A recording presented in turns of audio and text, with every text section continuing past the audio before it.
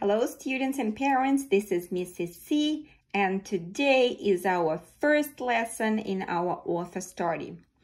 So we are going to learn a lot about Laura Numeroff. She is the author. She writes books. So we already read a couple of books by Laura Numeroff.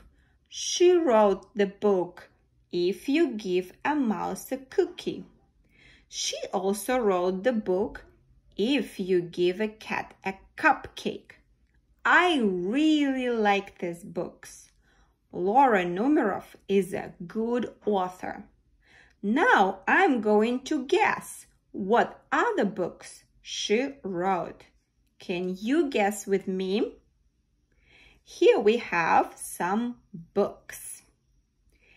If you give a moose a muffin, if you give a pig a potty, what is a child? If you give a dog a donut, build your own cars and trucks. So I already know that the author, Miss Numeroff, writes about animals. So I see a mouse over here and I see a cat over here. The books that I know by Laura Numeroff starts with if you. If you give a mouse a cookie, if you give a cat a cupcake. Let me look at the pictures below and you look with me. Let's look at all these beautiful so, hmm, only these books have animals. I don't know any books by Laura Numeroff that has kids or cars. So, no, this is probably not the book and this is not the book. Okay, now I'm going to ask my mommy to read me the names again. So, if you give a moose a muffin, Yes, I think this is another book because it has an animal and it starts with if you.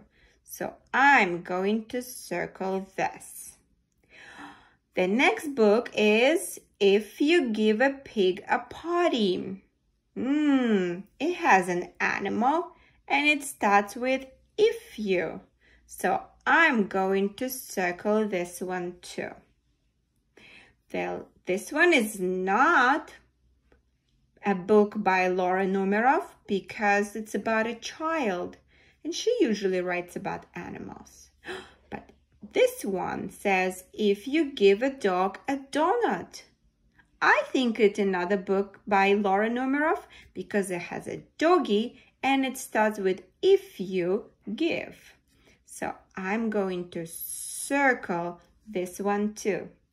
Good job, everyone. Now try to do the same thing all by yourself. Bye.